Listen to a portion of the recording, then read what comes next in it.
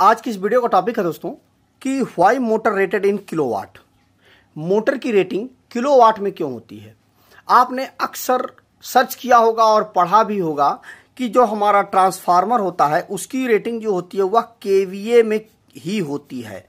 Interview में भी यह क्वेश्चन पूछा जाता है कि ट्रांसफार्मर की रेटिंग केवीए में क्यों होती है। लेकिन इंटरव्यू में आपसे यह क्वेश्चन भी पूछा जा सकता है कि जो हमारा मोटर होता है, उसकी रेटिंग किलोवाट में क्यों होती है? तो इस पूरी वीडियो को यदि आप ध्यानपूर्वक देख लेते हैं तो आपको यह कॉन्सेप्ट अच्छे से क्लियर हो जाएगा। पहली बात समझ लीजिए कि जो हमारा केवीए होता है, इसमें क्या चीज़ होती है? एक्टिव पावर भी होती है प्लस रिएक्टिव पावर भी होती है। दोनों मिल करके हमारा केवीए बनता है। ठीक है? तो यह चीज़ तो होती है हमारे केवीए में। तो ट्रांसफार्मर जो हमारा होता है, उसमें एक्टिव पावर और रिएक्टिव पावर दोनों मिलते हैं। ट्रांसफार्मर क्या करता है कि जो वोल्टेज होती है उसको अप कर देता है और डाउन कर देता है। यस, यही काम यह करता है ट्रांसफार्मर हमारा, और कोई भी काम हमें नहीं मिलता है इससे। हम क्या करते हैं? सिंपल हमारा जो ट्रांसफार्मर होता है, उसको हम इनपुट सप्लाई देते हैं और आउटपुट में हम वोल्टेज को जैसी हमें ज़रूरत होती है, वैसा हमें मिल जाता है। अप चाहिए या डाउन चाहिए। इसीलिए ट्रांसफार्मर हमारा स्टेप अप होता है। ट्रांसफार्मर हमारा और स्टेप डाउन होता है।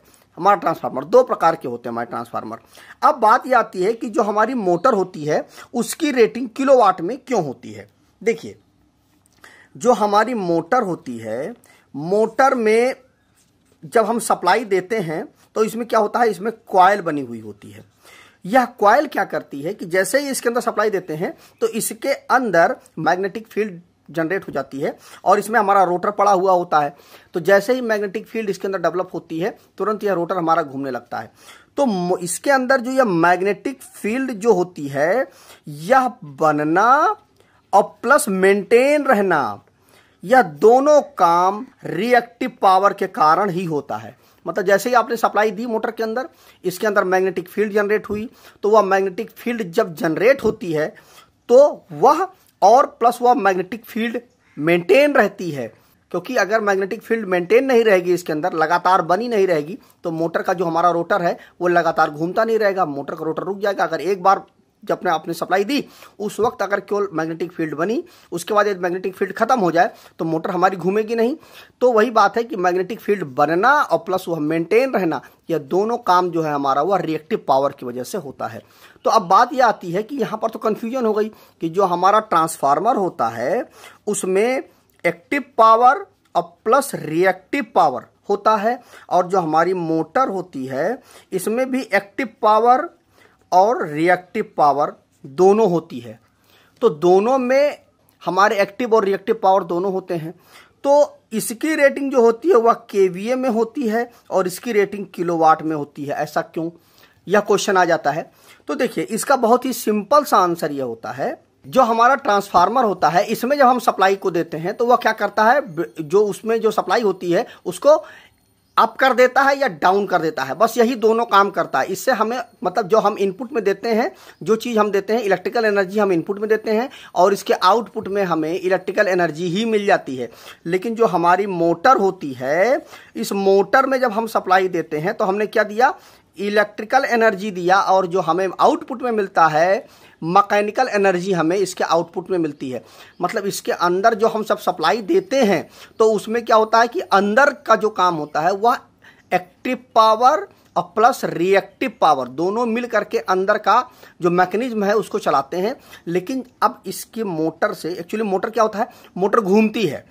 घूम करके ही हम इससे जो आउटपुट होता है वो लेते हैं। ट्रांसफार्मर में क्या होता है कि इसमें कोई चीज़ घूमने की या एक जगह से दूसरी जगह जाने की कोई भी ऐसी कंडीशन नहीं होती है। लेकिन मोटर में क्या होता है कि मोटर का जो रोटर होता है वो लगातार घूमता रहता है। और वह जो रोटर हमारा लगातार घूमता रहता है, वह एक्चुअल में एक्टिव पावर की वजह से ही होगा। इसीलिए इसको हम वर्किंग पावर भी कहते हैं, जो हमारी एक्टिव पावर होती है। मतलब जिस पावर का हम वर्क ले रहे हैं, उसी को हम एक्टिव पावर बोलते हैं। तो यहाँ पर आपने जब थ्री फ़ेज़ दिया या सिंगल फ़ेज़ दिया तो इसके अंदर जो कुछ हो रहा है, वह एक्टिव और रिएक्टिव पावर की वजह से हो रहा है। लेकिन जो हमें आउटपुट में मोटर के मिल रहा है, वह मैकेनिकल एनर्जी मिल रही है। और वह जो हमारी मैकेनिकल एनर्जी है, वह केवल एक्टिव पावर ही होती है। उसमें रिएक्टिव पावर का कोई भी रोल नहीं होता है।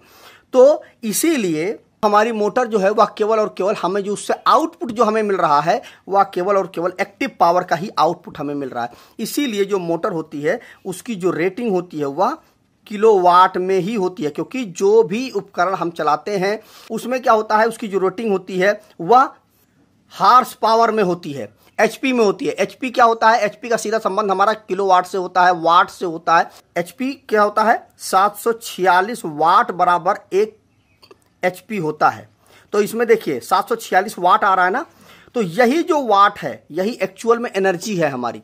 तो यह एनर्जी हमें मोटर में किस तरह से मिलती है? मैकेनिकल रूप में मिलती है। और वह मैकेनिकल की एनर्जी जो है, वो किसमें होती है हमारी? किलो वाट में होती है। या वाट में होती है। दोनों में हो सकती है हमारी। तो इसीलिए मोटर की जो एक्चुअल में जो रेटिंग होती है, वह हमारी किलो वाट में होती है। तो इसीलिए मोटर की जो रेटिंग होती है वह हमेशा किलो वाट में होती है और ट्रांसफार्मर की रेटिंग हमेशा के में होती है। तो मुझे उम्मीद है कि आपको यह कॉन्सेप्ट अच्छे से क्लियर हो गया होगा कि मोटर की रेटिंग किलो वाट में क्यों होती है। तो वीडियो अगर अच्छा लगा हो तो वीडियो को शेयर कर दीजिएगा अपने दोस्तों के साथ, जिससे उनको भी यह कॉन्सेप्ट अच्छे से क्लियर हो जाए। तो आज की इस वीडियो में बस इतना ही। नमस्कार दोस्तों।